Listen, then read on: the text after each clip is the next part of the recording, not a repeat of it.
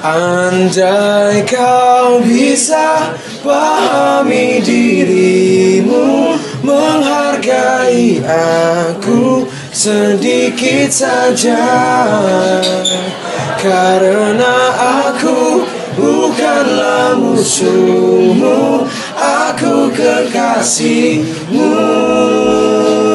Halo mata-mata dan. Kami dari Dan Band Jangan lupa untuk tanggal 1 Oktober Lihat penampilan Dan Band di SMAK Sin Louis 1 Surabaya. Ya.